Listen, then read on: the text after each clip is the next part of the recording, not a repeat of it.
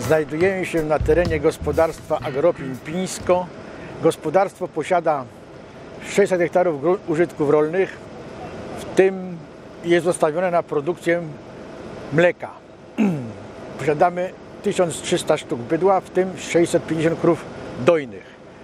Produkcja roślinna jest podporządkowana pod bydło. I mamy oprócz produkcji polowej mamy jeszcze 150 hektarów użytków zielonych w jednym kompleksie. Są to łąki yy, nadnoteckie, na której również mamy Naturę 2000. Trochę nam ogranicza to intensywność użytkowania. W strukturze zasiewów mamy przewa- przewagą jest tutaj zboża księżyto, jęczmień, mieszanki zbożowe, jęczmień ozimy. Co trzeci, czwarty rok wchodzi jeszcze do uprawy rzepak na pograniczu gdzieś 30-40 hektarów. I pozostałą część produkcji roślinnej uzupełnia kukurydza 250 hektarów i lucerna około 50 hektarów. Opryskiwacz Alfa Evo zakupiony został w 2015 roku na wiosną, na wiosnę i zrobił już nam opryski ochrony roślin, dokarmianie na uprawach zbożowych, jak i w uprawie kukurydzy. Yy, Krotność tego jest w zależności od potrzeb, ale średnio gdzieś trzy zabiegi są wykonywane w ciągu sezonu wegetacyjnego. Jest to dobra maszyna, wydajna maszyna. Szybko można ją natankować, bo mamy specjalnie do tego przygotowane zbiorniki, gdzie woda jest napuszczana już przed wyjazdem e, do zbiorników w pole.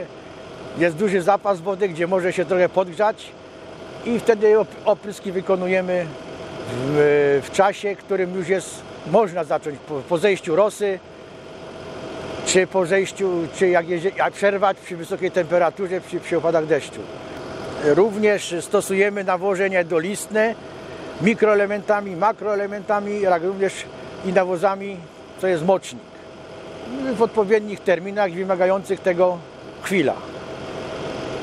Także to jest, y, nawozy są rozpuszczalne, rozpuszczalne w przygotowanych zbiornikach i również do, wtedy dokładamy mikroelementy lub środki chemiczne do tego w stosownych zaleceniach.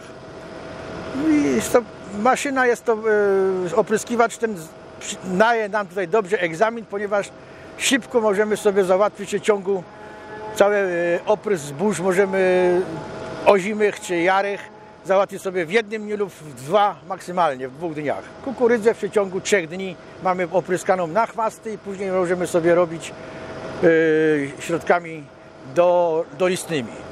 Mamy jeszcze współpracujące drugie gospodarstwo w województwie pomorskim, gdzie jest około 1000 hektarów. Tam jest prowadzona produkcja roślinna typowo, bo jest, gospodarstwo bezzwierzęce, gdzie jest produkcja zbożowa i rzepak plus kukurydza.